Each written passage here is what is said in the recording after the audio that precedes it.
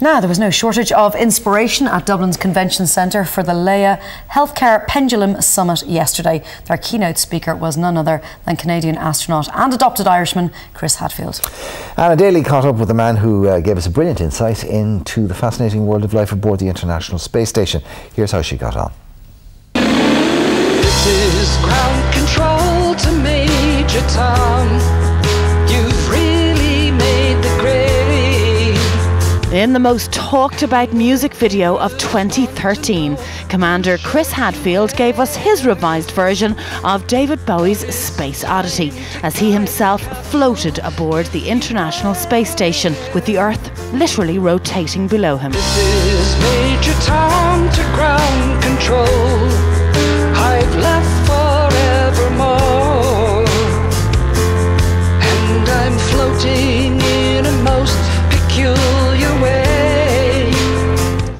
Gave us the most fun and innovative science lessons and the world's most talked about music video. Yes, legendary astronaut Chris Hadfield is the keynote speaker at today's Laya Healthcare Pendulum Summit taking place here at the Convention Centre in Dublin. And I have an appointment with the commander himself.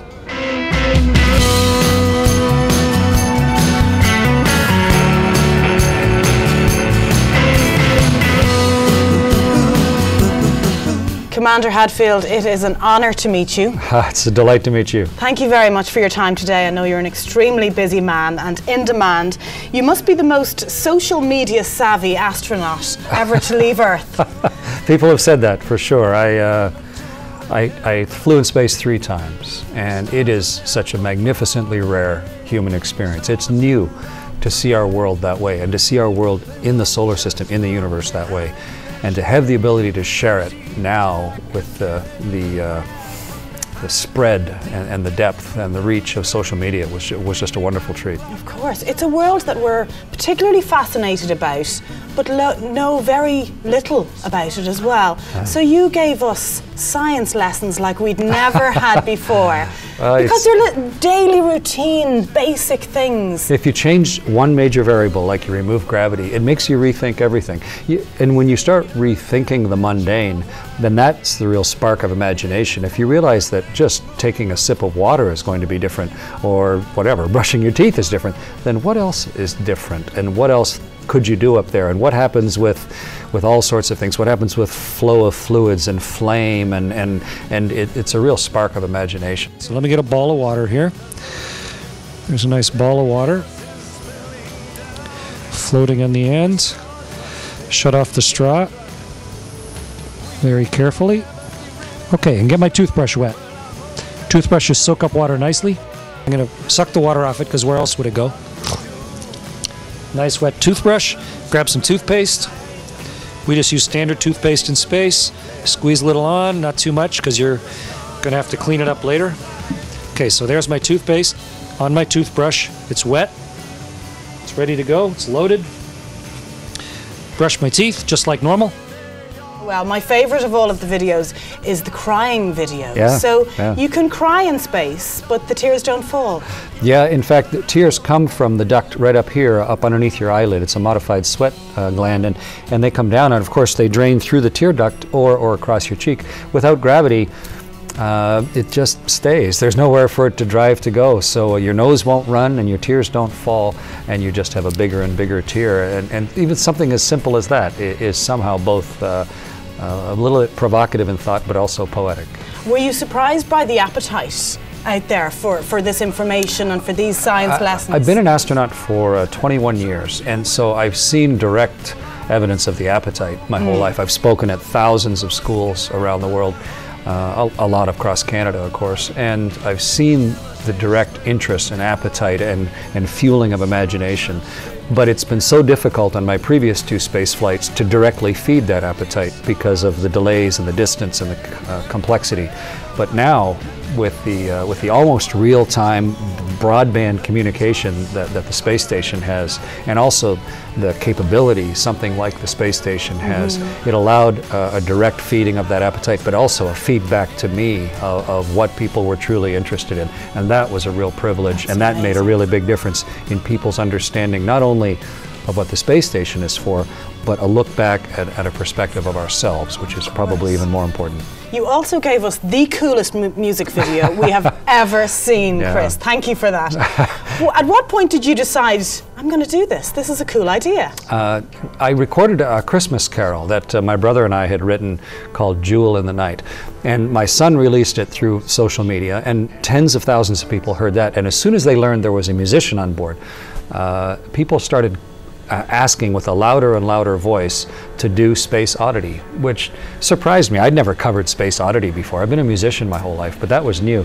And so it was really at the insistence of my son, and then sort of just a, a little side project, an evening project. I made an audio recording and then got permission from Bowie to make the video. And it was just kind of a, a lot of work for my son on the ground to put it all together. And at the last minute, just got it done and released it, not through any great plan, but released it just before we came home, but to a phenomenal worldwide reaction. Hundreds of millions of people have seen that video, and, and Bowie himself said it was uh, the best cover ever of that song. So, so huge high praise. But also, I think it's important. The space station is a wonderful laboratory, unprecedented, but at the same time, it, it is an extension of where people uh, exist. Uh, it's an extension of our culture.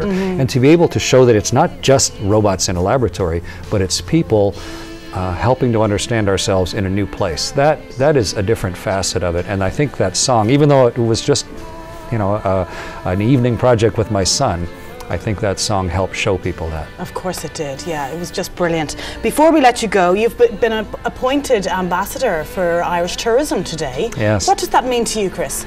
Uh, I've, I've seen the world like very few people. Um, I've been around it 2,500 times and, and uh, really got to know it um, at, maybe differently than most people see it. It- It's not even like a globe or a map where, where it looks somehow sort of two dimensional and, and artificial, but to really start to see the whole planet as a living, functioning, ancient, thriving um, being, a living uh, construct uh, where we are all sort of crew and passengers on board. You get to see and feel the world that way. And so you really see the special places as you come around. And as you come across the Atlantic, uh, because our orbit sort of apex is just over uh, Ireland, um, you end up seeing Ireland uh, as, as a reward for crossing the Atlantic uh, all the time. Really? Yeah, no matter where you start, you come up and you arch across, and there's Ireland in the distance. And uh, on a clear day like today, uh, it, nothing looks more beautiful than the green after you've come across the blue. My daughter has lived here for years and uh, is going to be uh, finishing up at Trinity here in Dublin in the next year or two. Um, my wife and I have visited here several times. It's just a, a beautiful, historic part of the world. Uh, so much of the culture of, of the uh, civilized world is reflected and, and, and uh, stored and created and, and flourishing here. It's just a, a beautiful place to be part of. And uh, I'm delighted at, at the give and take, the back and forth, the conversations we had from orbit, the reaction of the people. Uh, and so to, even though I'm not originally from here, um, I don't think you have to be from somewhere to truly appreciate it. And maybe even a set of eyes that's new on a place sees it in, a- in a slightly different way, maybe more appreciatively. So I'm delighted to be in the role to help be an ambassador for such a beautiful place and, and such good people. And we're very proud to have you here. We want you to go off and enjoy Ireland. Oh, I I know will. today is a work day, Yeah. but you're here with your wife, Helena, Yeah. and you're going to have some fun while you're in Ireland as well, I hope. We are indeed. Uh, we'll be uh, celebrating my, my daughter and her boyfriend's uh, dissertation uh, defense. Uh, we will do some touring uh, up in the North End. Uh, uh, a chance, I think, to play some music, um, maybe to try a little uh, beer and whiskey, and, uh, and and meet as many people as possible. So yeah, we're looking forward to Will the you keep entire us experience. posted on Twitter? Absolutely. Uh, Twitter is a great way to share a personal experience, to share uh, an honest perspective, especially of a new place. So, yes, absolutely, I will. Brilliant. We look forward to it. Thank you very much. A pleasure. Thanks, Anna. Very nice to talk to you. Thank Thanks. you. Ground control to Major Tom. The time is near. There's not too long. Can you hear me, Major Tom? Can you hear me, Major Tom? Clever move getting him to be an ambassador for Ireland from a tourism point of Very view. clever move. You'd imagine he probably had better offers. But Well, he's lot of, got a lot of grow No, for it's, Ireland, uh, clearly. There's yeah, a connection there.